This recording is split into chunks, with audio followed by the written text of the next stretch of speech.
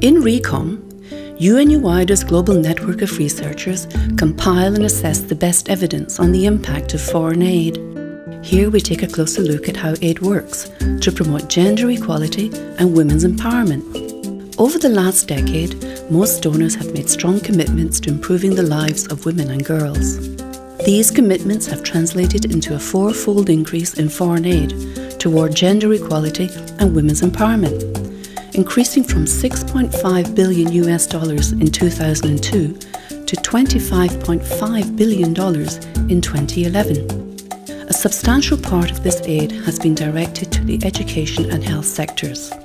For instance, education and health received more than half of the total bilateral aid, whereas by contrast, the agriculture and rural development sectors have received one fifth of the total aid allocated to support economic and productive sectors. There are encouraging signs that foreign aid has reduced gender inequality and benefited women and girls.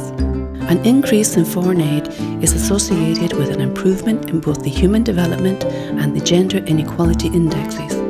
Specifically, aid appears to be effective in reducing maternal deaths, as well as helping to close the gender gap in youth literacy. Larger amounts of aid is given to countries that grant more extensive rights to women. Increased aid to women's organisations has had a positive effect on women's political empowerment in the Middle East and in North Africa.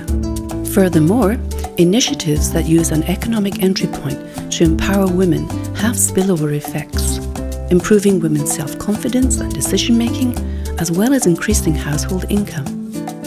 Foreign aid has been a catalyst in improving gender equality, but it has not done so alone. Women themselves have actively organised to ensure their rights are respected, their voices are heard in decision making bodies, their bargaining power both at home and in local communities is boosted, and their participation in economic life is amplified. Some partner countries have passed legislation to help remove constraints to women's participation in labour and credit markets and to make divorce and inheritance laws far more gender equitable. Still, more needs to be done to end violence against women and girls and to improve women's asset ownership and access to credit, together with their participation in paid employment and politics. And, importantly, to improve men's contribution to childcare and domestic work.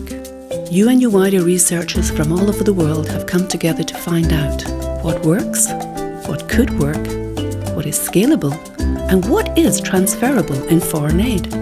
To learn more, come visit our website at recom.wider.unu.edu.